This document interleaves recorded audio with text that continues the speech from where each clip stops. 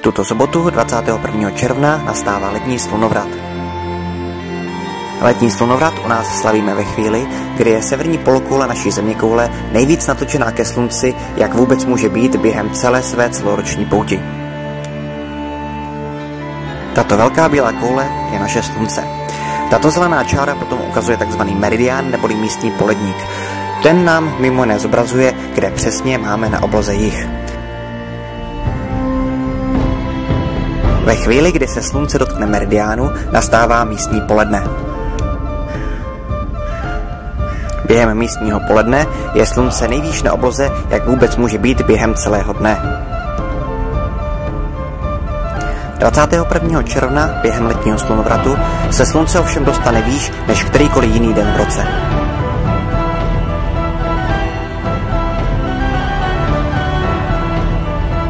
Červená čára ukazuje takzvanou ekliptiku neboli pomyslnou dráhu slunce mezi hvězdami.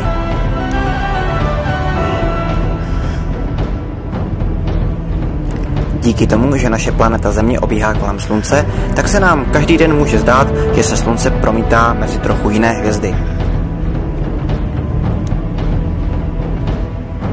Na začátku léta vstupuje do souhvězdí blíženců, ale za měsíc už bude vstupovat třeba do souhvězdí raka.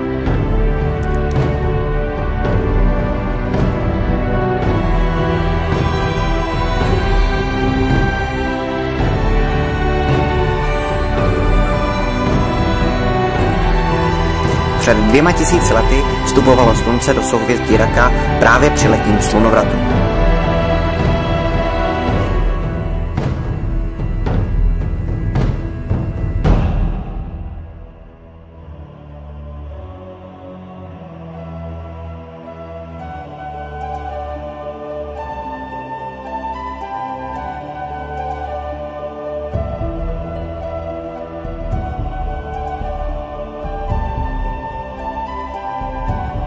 V našich zeměpisných šířkách nemůžeme slunce vidět nikdy přímo nad hlavou.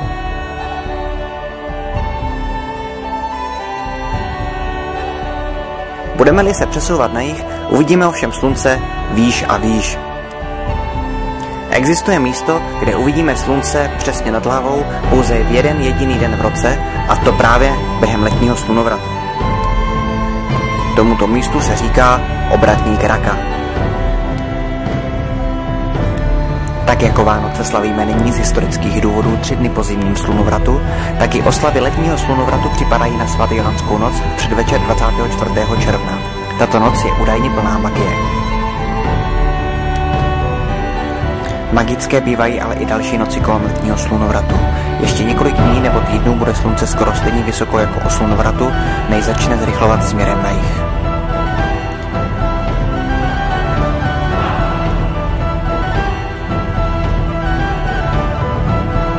Tyto noci zapadne slunce jen krátce a obloha ani nestačí pořádně stemnět, když slunce začne už zase svítat. Doporučuji si vychutnat onu magickou atmosféru těchto nocí celonoční procházkou nebo alespoň návštěvou místní hvězdárny.